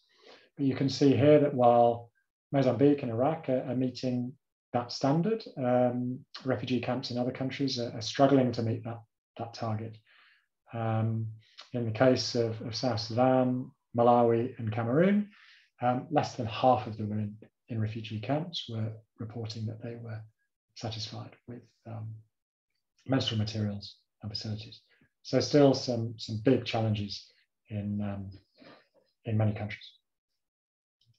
I'm just going to end with a, a couple of slides um, highlighting uh, some of the uh, big picture uh, issues that were that were highlighted in the in the JMP report. So the next slide, Rick, please. uh, just highlights that between 2000 and 2020, uh, there really have been you know, big changes. Uh, the global population has increased from 6.1 billion to 7.8 billion. Um, over that period, um, 2 billion people have gained access to safely managed drinking water. Uh, 2.4 billion gaining access to safely managed sanitation. And over the period for which we have data on global trends in, in basic hygiene services, so 2015 to 2020, um, half a billion people gaining access. So very large numbers of people uh, gaining access to services, and it's important not to lose sight of the progress that has been made. On the other hand, um, data availability um, has continued to improve. Since our last update, we have uh, data for a larger number of countries, and uh, the data are now covering a larger percentage of the population. So this table is showing you the, the number of countries with data and the percentage of the population that are covered by those data. You can see uh, that those in, in blue and green and purple have data for more than 50% of the population. Those that are highlighted in yellow are those where we still have data for less than 50%. And you can see, generally speaking, um, coverage is much better for basic services um, than it is for safely managed services.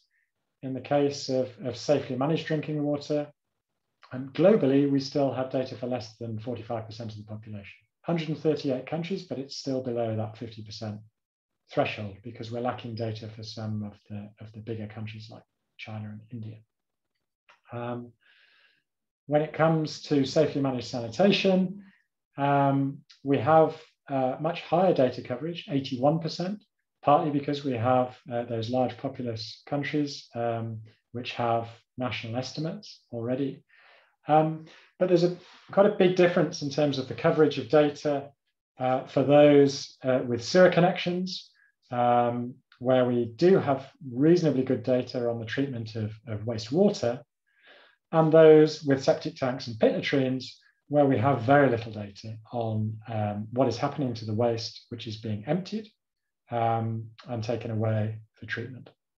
So you can see that uh, um, safe management of wastes from on-site sanitation systems uh, is highlighted here as, as our single biggest data gap when it comes to, to national and global monitoring of the SDG WASH targets. Globally, um, only seven countries have, have data on what is happening to the waste that's emptied from on-site sanitation systems, covering just 1% of the, uh, of the population. So a lot of work to do, and this is where we need to focus our efforts going forward in order to be able to report on these uh, global indicators in future.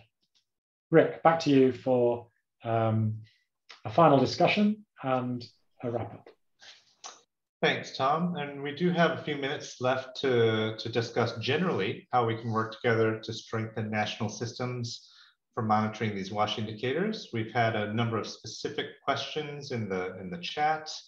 Um, so I again encourage anyone to put up your hand or um, ask to speak or type something into the chat. Just while we uh, wait for additional questions about these general um, questions though. I do see there have been a couple of questions specific to the menstrual health. So one about just shock uh, about the discrepancies by income level and disability.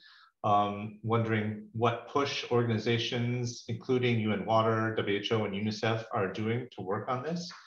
Um, I might say a few words uh, about what WHO is doing and then ask Tom to say something about UNICEF and other partners.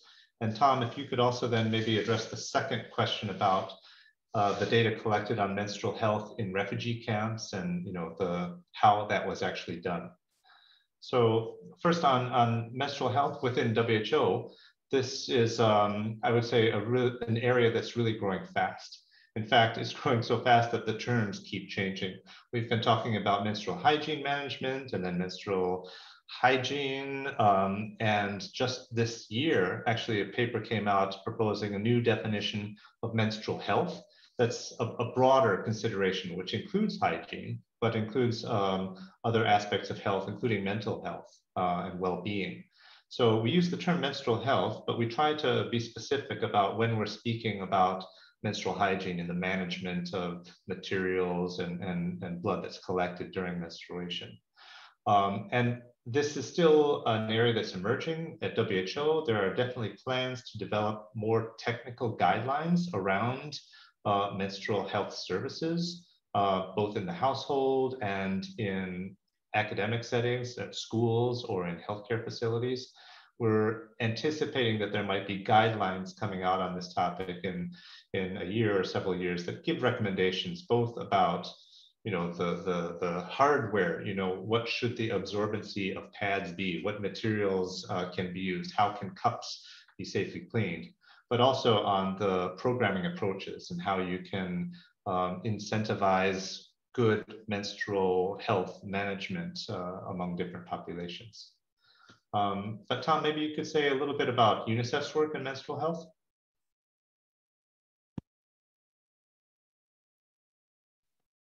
Yes, thanks, Rick. And this really is a, a growing area. I think when uh, we held the technical consultations on the priority areas um, to be addressed uh, for global monitoring of the, of the SDG targets, this was highlighted as a particularly important area. And under SDG target 6.2, you will see there's an explicit reference to uh, the needs of women and girls and uh, a lot of the work that's been done on menstrual health and hygiene has been um, in order to respond to that call. Um, there have been uh, a number of, of guidelines produced um, in recent years on the types of indicators that can be used to inform programming. And uh, we have also supported the integration of these um, new questions into household surveys. So uh, the uh, questions um, that were developed uh, by the UNICEF Multi-Indicator Cluster Survey have now been picked up and adopted by other survey programs as well. And so we're starting to see more and more data uh, coming in. Um, I think we will continue to refine these questions and indicators as we analyze the data and it starts to raise more questions about the types of things that we should be measuring and monitoring. Um, but already, I think the data are, are quite, quite compelling and are really highlighting uh, challenges which have previously been uh, largely invisible. On the question of how UNHCR is collecting um, these data, the um, UNHCR runs these um, regular uh, surveys of the populations in camps.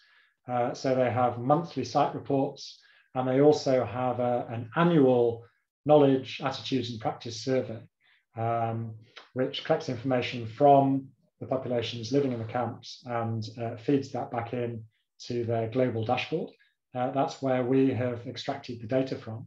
And that is now routinely collecting information on um, uh, menstrual health and hygiene. Uh, so that's a really important new source of data that previously didn't exist. Um, and then uh, there was one more question uh, on disability. So um, one of the important uh, challenges with disability is to be able to link information on, on drinking water, on sanitation, and on hygiene with um, whether or not uh, a household has members who are disabled or whether there are individuals within that household who have particular disabilities. So um, we have some general information from household surveys now about uh, whether they contain uh, individuals with, with disabilities. But in the case of, of menstrual health, we're able to collect information on the individuals themselves and to record um, whether or not they're able to access materials or whether they um, are able to participate in activities uh, during their period and to link that to whether or not they have recorded having functional difficulties in, in any of these areas. So that is only possible in the case of a household survey where you're collecting both types of information and you also have a module on disability. There are relatively few of those, um, but the UNICEF uh, multi-indicator cluster survey is one of those which is incredibly powerful when it comes to analyzing uh, these types of inequalities. Thanks, Tom. There's definitely a lot of interest in these new data on menstrual um, health. And in fact, as you said, this is one of the few cases where we have data that's collected at the level of the individual. So we can really get into, you know, what, how many, how many specific people are having some level of, of service. We've had, faced a big challenge for um, a lot of the water, sanitation, and hygiene questions in that they're collected at the level of a household. So it's very difficult to say, you know, do what kind of intra-household inequalities there might be between uh, different uh, ages or people with or without disabilities, um, people of different sexes and genders. So, um, so we're, we're very happy to be able to explore those at least for menstrual health. Um, I see there's one other question about uh, the menstrual health data, and it's about the availability of menstrual materials. Um, the way the questions are asked in most of the surveys is, you know, asking um, women and girls what materials they used during their last menstrual period, and you know, uh, no materials or or um, uh, underwear or some things that aren't um, considered as menstrual materials are sometimes given as responses.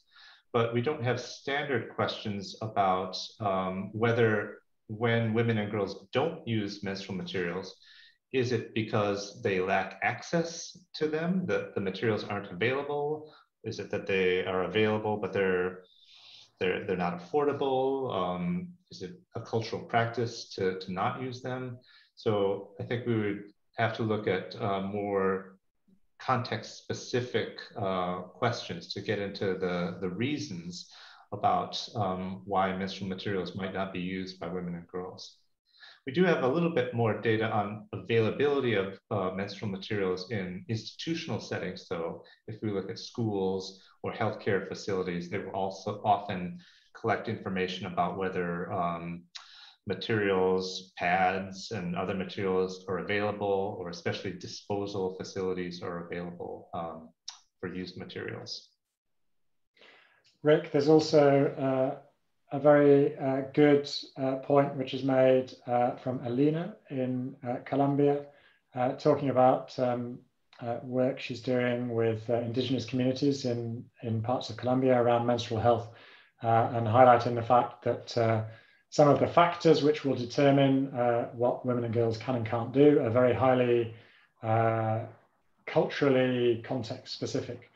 Um, and so uh, it's important to find ways to uh, capture that in data collection. Um, in our report, we found a very interesting example from Nepal, where there are very specific things um, that uh, women and girls are allowed to do or not allowed to do during their periods, um, to do with eating and bathing, and uh, also to do with having to stay in separate rooms of the house or even in separate um, buildings uh, during their menstruation.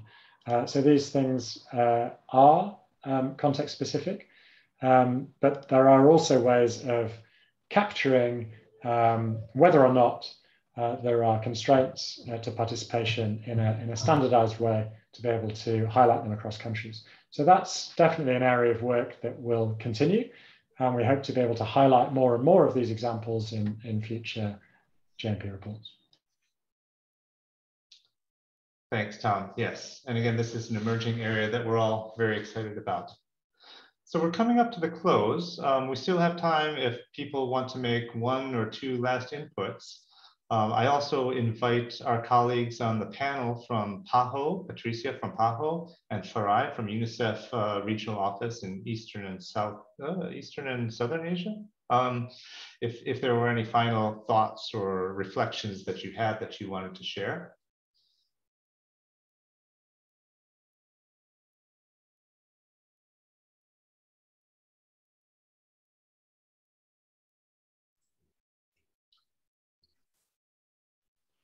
Yes, Rick, if I may come in. Please go ahead. Yes, uh, I think um, particularly on achieving the SDGs, we still do have uh, some time going forward. Um, the, the, the last 10, well, nine years to go now uh, of the SDGs. And we also have the SDG midterm review also coming up. And it gives us really an opportunity to, um, to recourse um, and really find our bearing in terms of what we want to achieve in the next uh, nine years. So it's really important for, for countries to really take stock of where they are and really say what is needed for them to move forward and attempt to reach uh, these very ambitious targets. Um, and, and the midterm review actually allows us that opportunity. Um, over back to you. Yes, it's a, a good opportunity for a stock take, um, and even not too early to be thinking about what will come after the SDGs. So um, perhaps there will be a proper SDG indicator on, or a post SDG indicator on menstrual health if, if the, the methods have uh, evolved to that level. I see we do have one more comment about the, the data on menstruation. Uh, the question is if the data are specific to women and girls or also include non-binary menstruating people, for instance, trans men. And uh, Tom, you might want to jump in as well, but I, I, think the answer would be it really depends on the household survey and the training that the enumerators are given. There are certainly countries where there's, there's a recognition of non-binary status, uh, you might think of India or Thailand or some of the uh, South American countries where surveys record, um, you know, non-binary uh, genders. And in those cases, um, I would expect that the questions around menstruation would be asked of, of anyone who menstruates, whether they identify as uh, male, female, or something else. Um, having said that, I haven't come across any data sets that do have uh, the menstruation data uh, disaggregated by other than male female. Um, so I think that's something that we may see more of uh, in the future, but we just haven't yet. Um, and of course, non-binary, um, the, the, the issue of access to menstruation facilities and toilet facilities in general in schools and healthcare facilities um, has a lot of resonance with, uh, with the issue of non-binary people. So we do try to highlight examples uh, wherever we can find them in, in our reports of countries that go a little bit beyond and address some of these uh, important issues.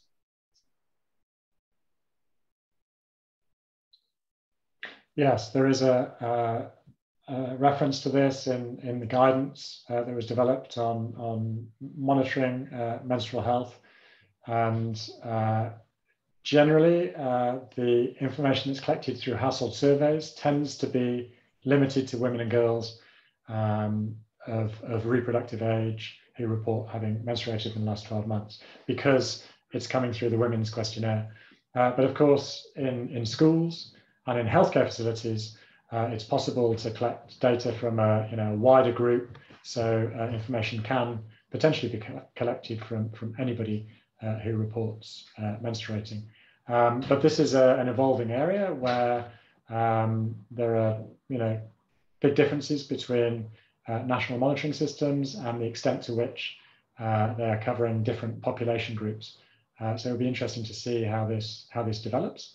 Um, and in future, hopefully, it will um, you know be inclusive of, of all menstruators, um, not just um, uh, women and girls. Thanks. It's great to see so much interest in the menstrual health. Um, our time is up now, so I'm going to um, thank everyone who participated. Thank you to our panelists for joining us from around the world.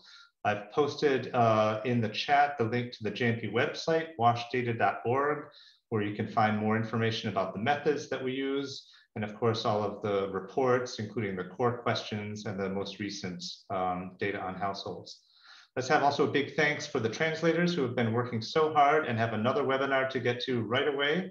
So um, thanks very much, translators. And uh, we will encourage you all to join the other webinars throughout the rest of this week to learn about the rest of SDG 6.